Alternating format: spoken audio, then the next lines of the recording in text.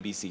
Actually, I'm surprised that it's uh, Chiloba uh, who has only gone. I would have thought that someone like Chebukati will have also gone a long time ago uh, with Chiloba.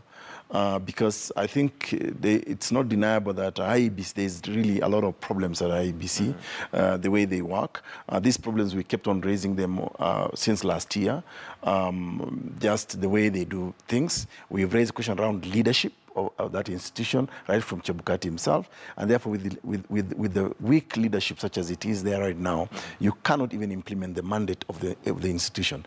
Um, IBC has never really inspired confidence on Kenyans, even, even during last year's general elections. It's just that uh, we are to balance the, the, the interest of the country and the interest of an institution and a few individuals. From what I glean from, uh, from the story, it seems to me there are serious pro, uh, procedural issues uh, that should, ought to have been followed, uh, even to suspend uh, Chiloba. You know, we're supposed to be a country that uh, abides with the rule of law uh, and procedures and regulations. So, wh- whereas, um, you know, the suspension may be right, but I think let's do it uh, proce- in, in a in a procedural procedure. way. Yeah, but you see, I'm not surprised, uh, Gitonga, because the person suspending, the person at the heart of this suspension is Chebukati.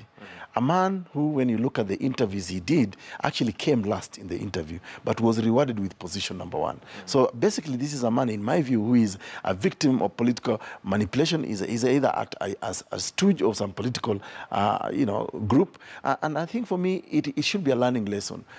Who who should we put into leadership in our, in our, in our especially constitutional institutions such as the electoral management body? It has to be people who are competent, uh, who, who qualify to deliver that mandate. And honestly, my own experience with Chebukati is that he's a very weak